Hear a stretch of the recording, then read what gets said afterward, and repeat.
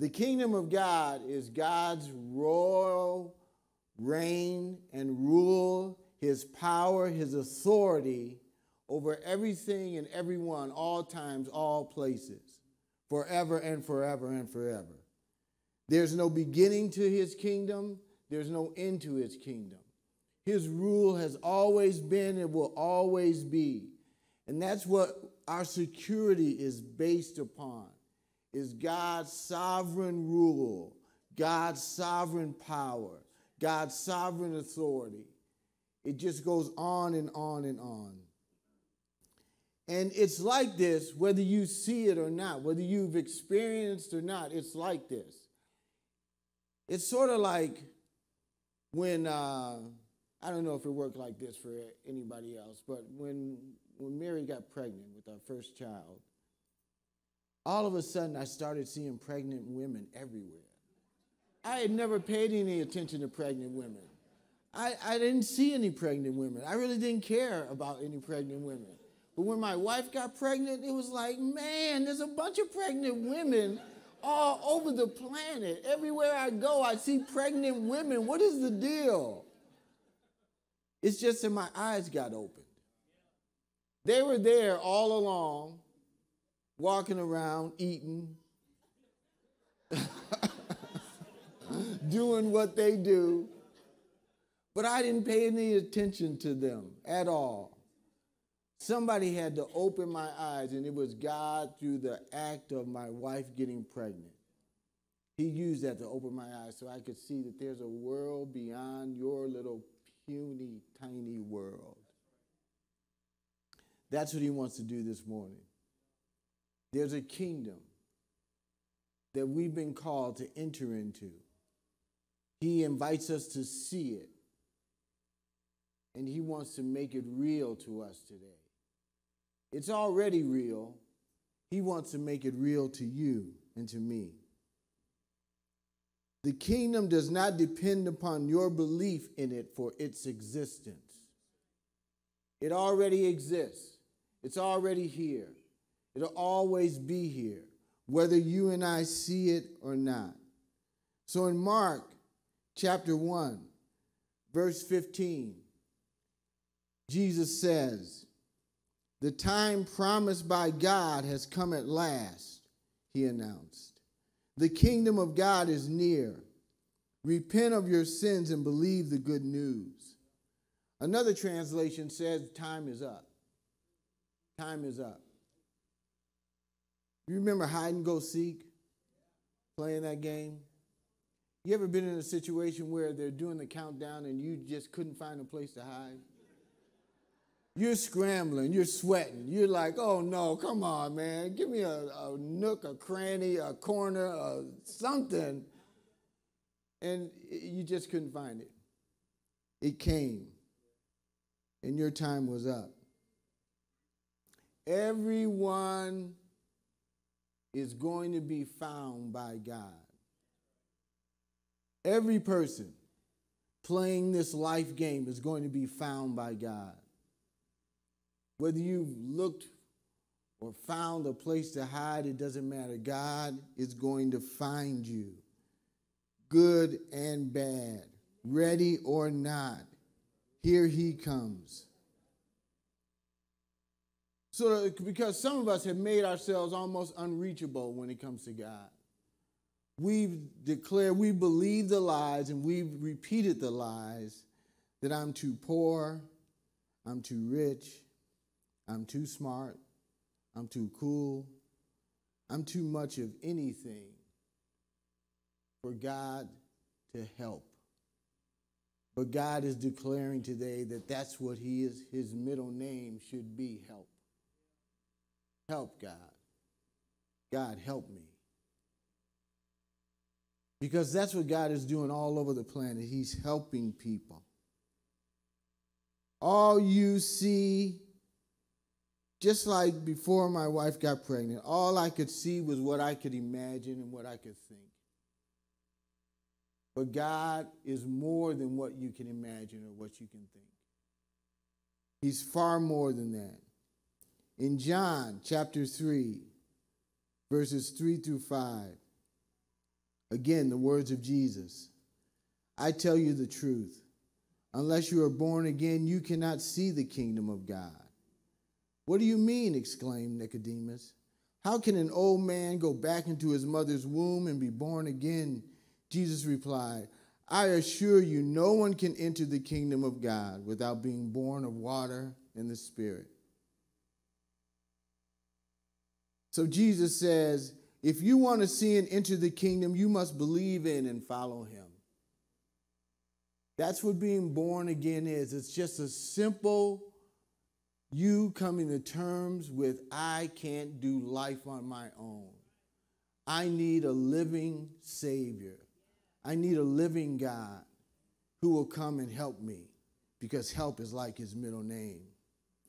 So I've told this story before.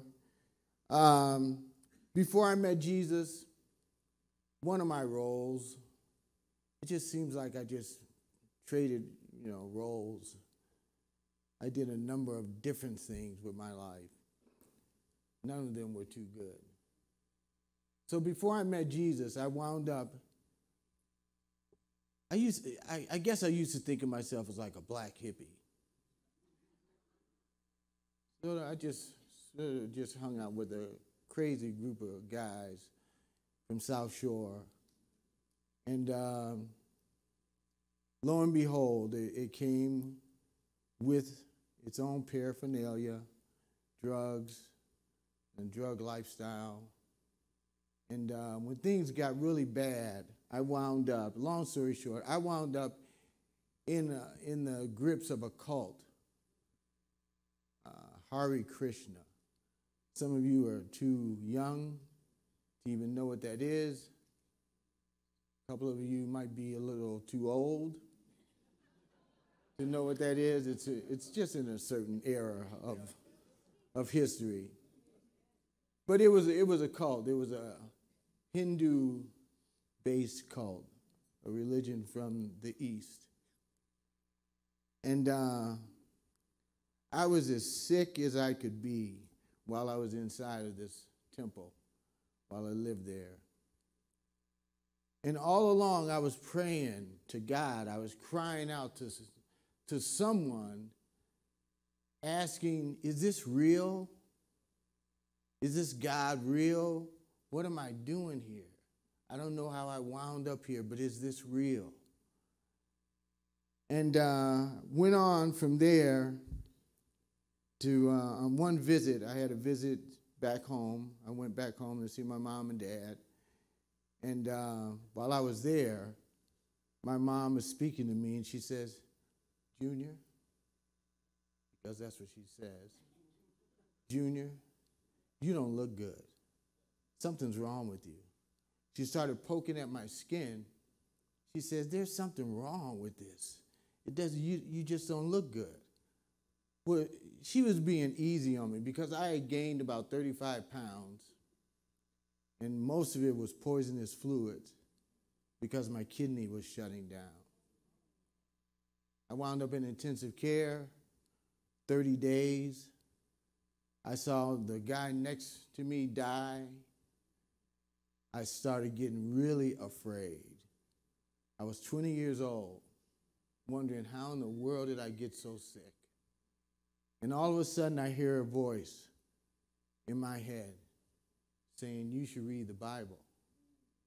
There was a Gideon's Bible in the drawer.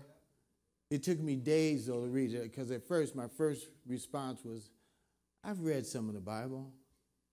I don't think I need to read the Bible. I'm good.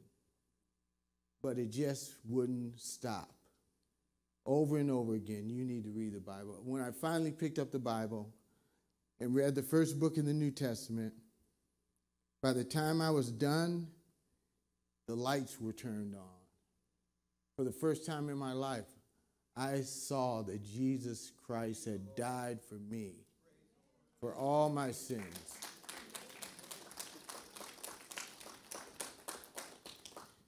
And then I'm a slow learner.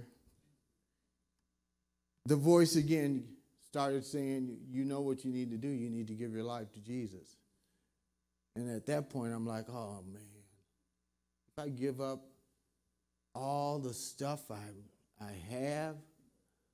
This is what he's talking about. I got he's asking me to give up all my stuff, which was nothing, but it seemed so important at the time. I'd have to give up drugs and partying and just a, just a crazy hedonistic lifestyle. I'd have to give all that up. And I was holding on to it for dear life. Finally, I got down on my knees one night, exhausted from just this mental battle, and prayed, God, if you're real, would you just come in and take over? I woke up the next morning, and I've shared this story before. The first person I saw was my father. Didn't have a good relationship with him. And a voice on the inside is saying, Look at your dad. Don't you love him? Don't you just love your dad? And I'm like, No. What happened to me? What is going on? And then I thought, I bet he came inside. That was my first thought. I bet he came inside. I didn't know who Jesus really was, but I knew something had happened to me. I knew someone had come into a relationship on the inside of me so that I was no longer praying just to God on the outside, but I, I had God on the inside. That's the kingdom of God. The kingdom of God takes all of the might and power that there is and it funnels it into your heart so that God lives in you, the Spirit lives in you, Jesus lives in you. It's not just you talking to someone who's distant, who's far away, but you are having communion with someone close and personal. And so the kingdom of God keeps doing that type of thing over and over and over. So in this room, there are, we don't know how many kingdom stories where the kingdom comes and it disrupts, interrupts your life because it's been waiting with this packaged gift of life and salvation and hope. So, what I want to do, I just want to make some statements here. And then we'll be done. Because the kingdom of God looks like what it says in Isaiah 61. The Spirit of the sovereign Lord is upon me for the Lord has anointed me to bring good news to the poor. He sent me to comfort the brokenhearted, to proclaim that captives will be released and prisoners will be freed. He has sent me to tell those who mourn that the time of the Lord's favor has come, and with it the day of God's anger against their enemies. To all who mourn in Israel, he will give a crown of beauty for ashes, a joyous blessing instead of mourning, festive praise instead of despair. In their righteousness, they will be like great oaks that the Lord has planted for his own glory. So I'm just going to read you a list of things that the kingdom of God wants to disrupt and see if you identify with any of these.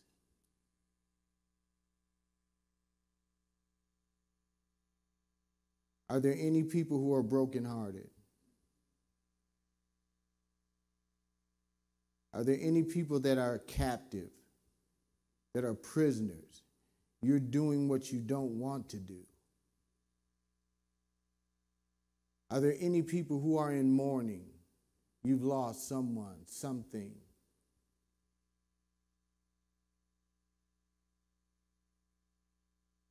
Is there anyone who has ashes on their heads? Will you despair of life itself? Maybe today someone's in the room and they just don't think life is worth living.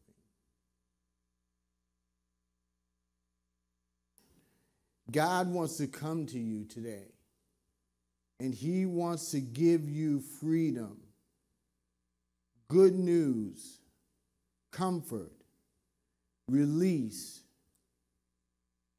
favor, blessing. Let me close with this. God wants to rebuild you, restore you, revive you, so that you can get in on the building, restoring, revival business. Like your daddy has a company, and it's all about rebuilding, it's all about restoring, it's all about reviving. And he's, he's, he's always looking for new workers. That would be you. That would be you. He is asking you to consider don't you want to work for my company? I'm all about rebuilding, restoring, reviving. And you can get in on this family business. See, so the kingdom of God, whether you see it or not, it's always moving. You know, the ocean's deepest place is over six miles. That's a long way. The only way we know that creatures exist at that depth, we've never seen them except by instruments, radar type instruments. So there's a snail that lives at the depth of 5.16 miles below the sea level. When's the last time you walked five miles? Some of you probably have never walked five miles. Watch it. and that's okay.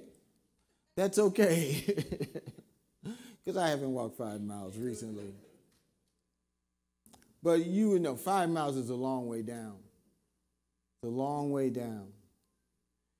The kingdom of God is deeper than that. It's deeper than that. God is inviting all of us into his kingdom. Maybe you've never met Jesus. I mean, met Jesus. So we're not talking about following a list of rules and regulations. We're talking about you get to meet the creator of the universe. You get to meet the king over all the kings, the Lord over all the lords. That's, what, that's who you get to meet. That's what the kingdom of God is all about. So if you've never met Jesus as he really is, today could be your day. You should get to meet Jesus Christ, the Son of God the Savior who died for you. And for those of you who already know him, you need to accept his invitation to fully submit yourself into your family business. Don't just take the rebuilding for yourself. So Hammer's been rebuilt, restored, revived, and he's put himself in a place where he's doing that for other men. He's helping them to see that they need to be restored, revived, rebuilt. So, right before worship, why don't you close your eyes? You don't have to, just a suggestion. Close your eyes, hold out your hands. God's going to give you something good. Holy Spirit, come. Come, Holy Spirit. Rest on your people. Rest on these hands. Fill the empty places. Fill the desert places, the dry places, the places without water, the places where there's no food left. Fill those places, God. Fill your people today. You are the one who fills all of our needs who does more than what we can imagine and think. So come, Holy Spirit, do what we can't imagine, what we can't even think of. Do it in us. In Jesus' name, amen.